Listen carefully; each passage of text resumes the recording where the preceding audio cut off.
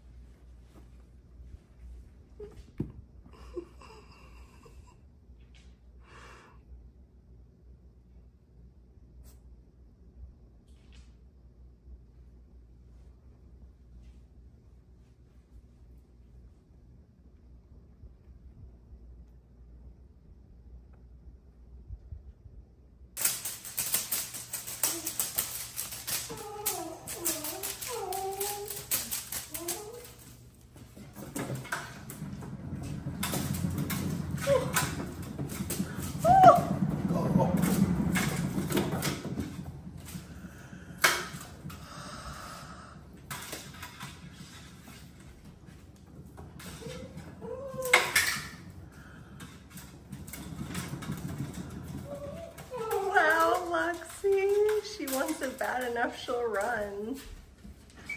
Sadie, what is your complaint?